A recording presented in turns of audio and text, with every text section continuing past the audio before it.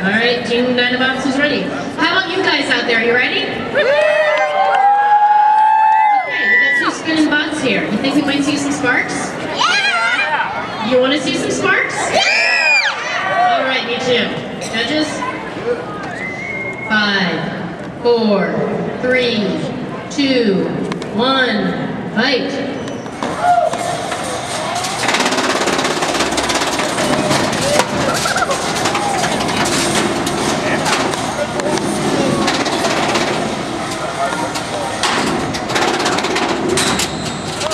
due to the retrograding that Rich has done, Melty Beetle, while spinning in a circle, is able to control where it spins and translate across the floor. That is the uh, Melty Brain, and that's why it's called Melty Beetle. Whereas T-Rex is a uh, more conventional drive system, has two wheels, and that's really nasty.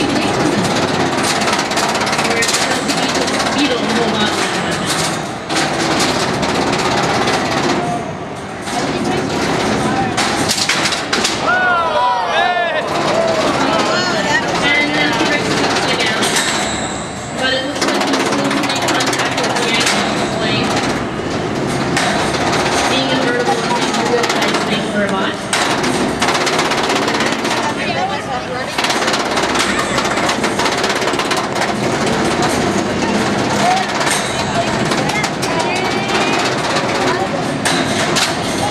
Just over a minute.